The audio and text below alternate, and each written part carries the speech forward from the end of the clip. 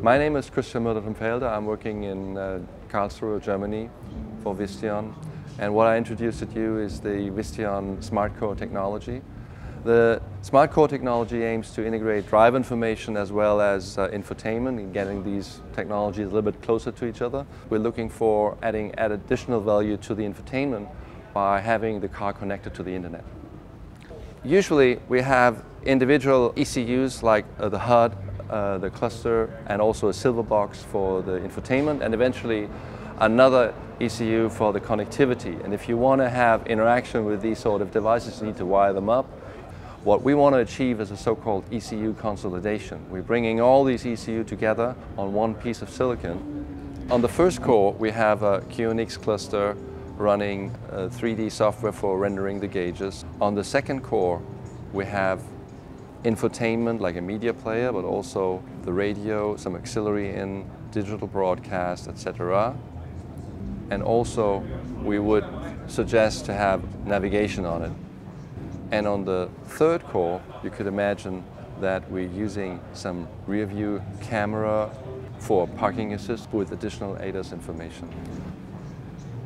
On the fourth core, there is connection to the internet, which is realized through a complete Android. For instance, if you want to have internet in the infotainment unit, you need to have a connection to a wireless gateway. With simple gestures, we can fling the content also in the cluster.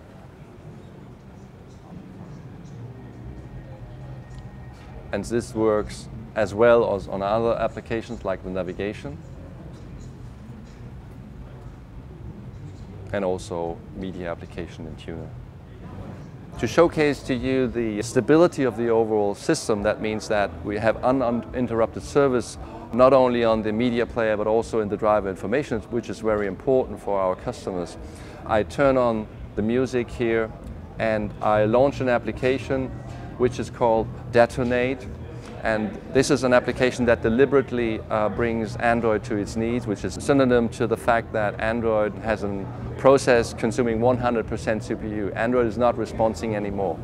So I press the button here and Android is about to be rebooted while we hear constant the sound in the background of the media player and the gauges are doing their turns like normal. So there is no interruption of the service of all the other cores, while the core 4 is currently completely on hold and just in this situation rebooting.